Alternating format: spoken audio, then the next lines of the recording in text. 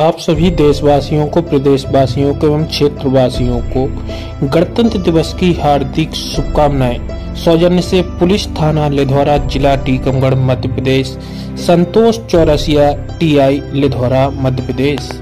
आप सभी देशवासियों को, प्रदेशवासियों को एवं नगर वासियों को, कार्यालय, ग्राम पंचायत जगत नगर जनपद पंचायत, जतारा सरपंच श्रीमती ललिता आदिवासी, सरपंच प्रतिनिधि गिरिराज सिंह बुंदेला, धनंजय राजा बुंदेला की ओर से गणतंत्र दिवस की हार्दिक हार्दिक शुभकामनाएँ। आप सभी देशवासियों को, प्रदेशवासियों को एवं समस्त प्रदेश के किसानों को कृषि उपज मंडी समिति टीकमगढ़ की ओर से गणतंत्र दिवस की हार्दिक शुभकामनाएँ। ब्रजेंद्र श्रीवास्तव, सचिव सीपी पटेल, भार साधक अधिकारी।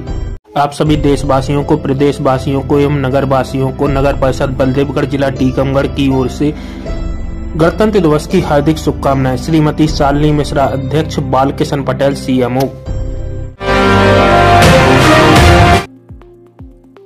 टीकमगढ़ में मनाया गया गणतंत्र दिवस समारोह, रिमझिम बारिश के बीच डीएम ने फहराया तिरंगा, स्कूली बच्चों ने दी रंगारंग कार्यक्रमों की प्रस्तुति।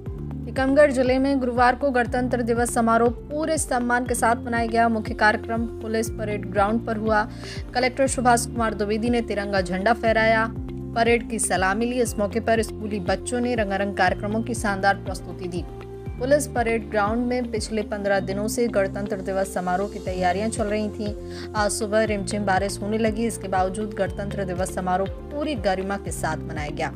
मुख्य समारोह पुलिस परेड ग्राउंड में कलेक्टर सुभाष कुमार द्विवेदी ने राष्ट्रीय ध्वज फहराकर परेड की सलामी ली। इस दौरान पुलिस जवानों के अलावा एनसीसी, एनएसएस, कैडेट्स और स्कूली बच्चे परेड में शामिल रहे।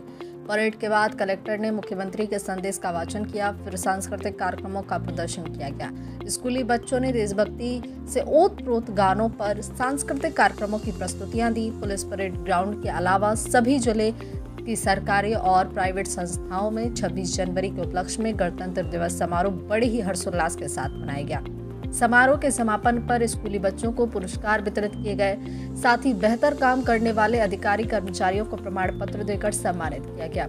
इसके अलावा ज़िले के स्वतंत्रता संग्राम सेनानियों और उनके परिजनों को अधिकारियों ने सम्मानित किया। परेड की सलामी ली। इस दौरान पुलिस जवानों के अलावा एनसीसी, एनएसएस, कैडेट्स और स्कूली बच्चे परेड में शामिल रहे।